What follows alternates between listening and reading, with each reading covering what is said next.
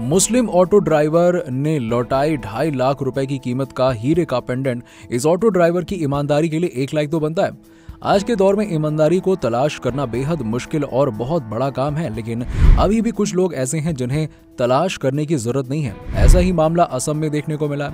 यहाँ पर एक गरीब ऑटो चालक के सामने ढाई लाख रुपए की कीमत का पेंडेंट था, लेकिन उसका ईमान इतना मज़बूत था कि जरा भी नहीं डगमगाया और उसका जो मालिक था उसको बड़ी ही हिफाजत से पहुँचाया उसके मालिक के पास और एक दिन पहले अली नाम का ऑटो ड्राइवर एक महिला मुसाफिर को स्टेशन पर छोड़ने गया था। हालाँकि अभी तक सब कुछ नॉर्मल था, लेकिन जब महिला अपनी मंजिल पर पहुँची तो उसे याद आया कि अरे, उसके गले में ढाई लाख रुपए की कीमत का हीरे का पेंडेंट नहीं है।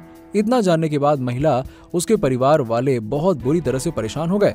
उन्होंने इस पेंडेंट को ढूँढने की बहुत कोशिश की, लेकिन कहीं नहीं मिला। परेशान होने के बाद उन्होंने ऑटो चालक अली से फ़ोन पर बात की और उसने बताया कि हाँ उनके पास पेंडेंट है और वो इंतज़ार कर रहे हैं कि इस पेंडेंट को उनके मालिक तक कैसे पहुँचाया जाए। इतना सुनने के बाद महिला और उसके परिवार वालों की सांस में सांस आई, जिसके बाद महिला ऑटो ड्राइवर अली से मिली और उसका शुक्रिया अदा करते थक नहीं रही थी।